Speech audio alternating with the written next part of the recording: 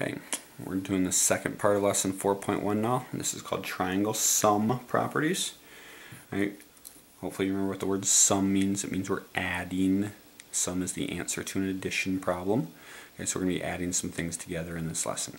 All right, first one is a theorem that you probably already know. You may not have known the name of it, but it's called the triangle sum theorem. It's got three stars. It's a really important theorem. We're going to use it a lot throughout the year. Okay, so let's draw a triangle here.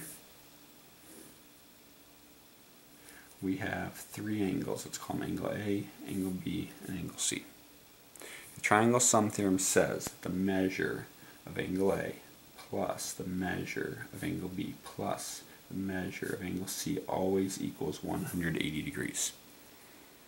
Okay, take the three angles inside a triangle, add them up, it's going to give you 180 degrees. All right, now I'm not going to go through the full proof of this one, but I'm going to show you real quick why it works. Okay, so here we go. This is why the triangle sum theorem works. Now, we've answered this question back in chapter 3. If I have a line and I have a point up here that's not on this line, how many lines can I draw through this point? Well, remember the correct answer is an infinite amount, but of that infinite amount of lines, how many of them are parallel to this one? Well, just one. And we learned how to do that with our compass. Right now I'm just going to kind of sketch it out. So this is parallel to this. And I'm going to stretch this out as well. Okay? Now, angle 1, angle 2, and angle 3. They're all different. I'm going to call this angle 4 up here, and angle 5. Now what we know is we know that angle 1, angle 4, and angle 5 add together to give me 180 degrees, a nice straight line. It's kind of like a linear pair, but there's three of them you know, maybe we could call it a linear trio or something like that, but there's no such thing as linear trio postulate. If there's a linear pair postulate, we could do a little angle addition as well. But all three of these are going to add to equal 180. Okay, so the measure of angle 1 plus the measure of angle 4 plus the measure of angle 5 equals 180 degrees. However, look at angle 2 and angle 4 got parallel lines. This is functioning as a transversal. We just dealt with transversals in chapter 3. These are alternate interior angles. So we know that angle 2 and angle 4 are congruent, which means they have the same measure. So instead of angle 4, I can substitute it with angle 2. And then let's look here at 3 and 5, same idea. This side of the triangle is now functioning as a transversal. 3 and 5 are on opposite sides of the transversal. They're in between the parallel lines, so they have to have the same measure. So I'm going to substitute,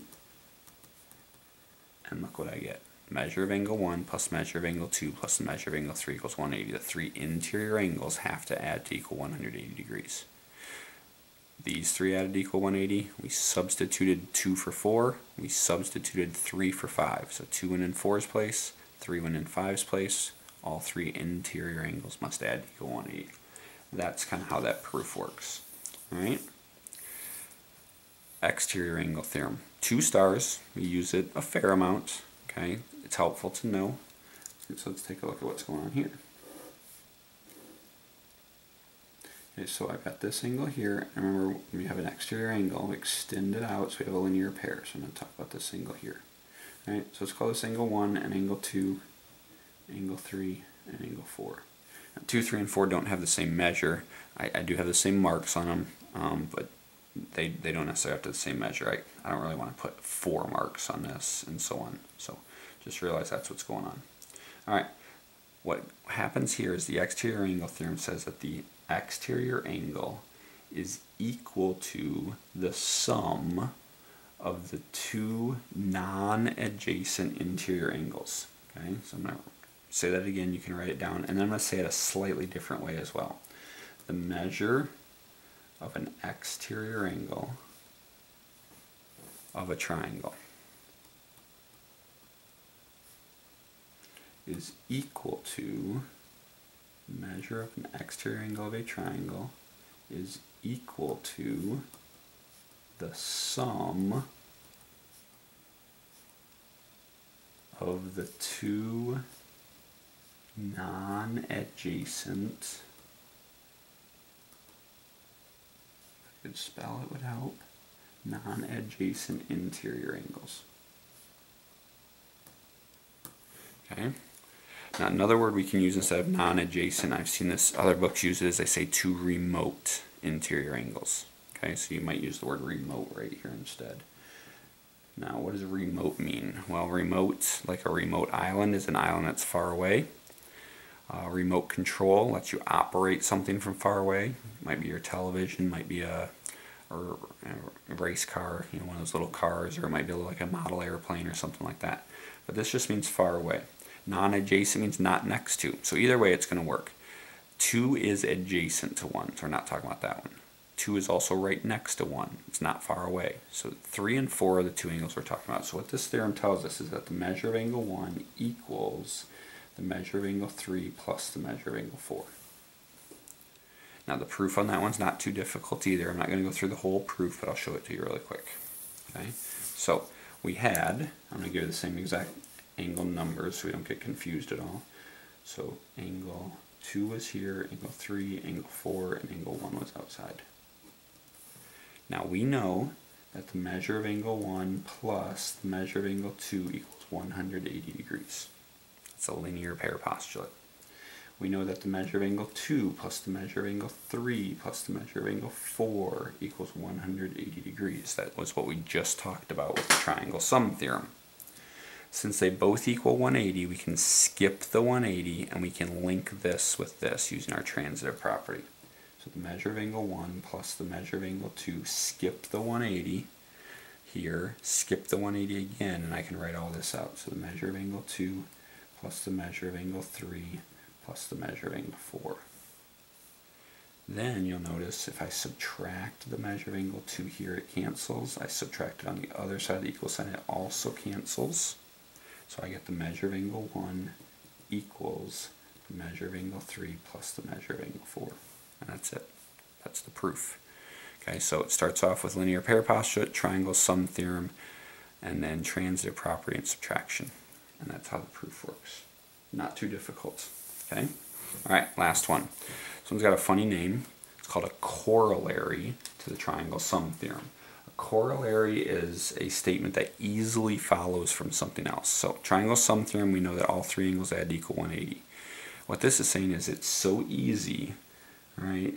That that's it's just super easy to figure out. Um, the proof would be really easy. That's why it's one star. We don't use it a ton, but this is what it says. It says if you have a right triangle,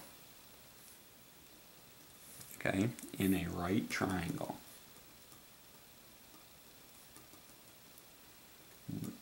the two acute angles are what? Let's think about it. Let's call this angle 1 and angle 2. We know that all three angles add to equal 180, triangle sum theorem. We know that this right angle is 90. So if I've used up 90 degrees, how much does that leave for these two? Well, it leaves 90, right? So these two have to add together to equal 90. Well, what word means they add together to equal 90? Complementary. And that's all the corollary says, is that in a right triangle, it only works in a right triangle. In a right triangle, the acute angles are complementary. The measure of angle 1 plus the measure of angle 2 equals 90 degrees. That's it. Okay, let's apply these two, a couple of these theorems now with some algebra problems. Okay, so first, what do we know about all three angles inside a triangle? Think back to our theorem we learned earlier about the triangle sum theorem we know that all of these angles added together have to equal 180. So our algebra will say something like this. 2x plus 3x plus 5x minus 10 equals 180. I don't really have to put the degree symbol. Right, like terms, 2x plus 3x is 5x, and 5x plus 5x is 10x. Minus 10 equals 180. Add the 10. This cancels we get 10x equals 190. We divide by the 10, this cancels, and I get x equals 19.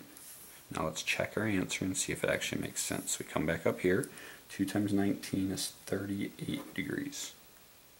3 times 19 is 57 degrees. 5 times 19 is 95. 95 minus 10 is 85 degrees. Okay, now if we add this up, we should get 180. Let's see, 38 plus 57 is 95. 95 plus 85 is 180 degrees, so our answer does make sense. It's always good to check to see that your answer makes sense.